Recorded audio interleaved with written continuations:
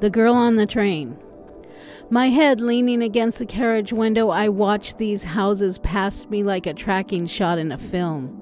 I see them as others do not. Even their owners probably don't see them from this perspective. Twice a day, I'm offered a view into other lives just for a moment.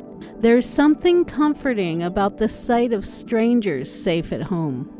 Someone's phone is ringing, an incongruously joyful and upbeat song. They're slow to answer, it jingles on and on around me.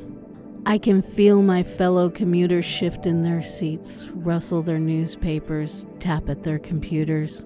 The train lurches and sways around the bend, slowing as it approaches a red signal.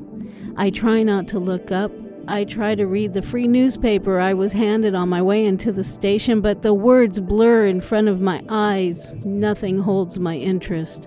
In my head, I can still see that little pile of clothes lying at the edge of the track, abandoned.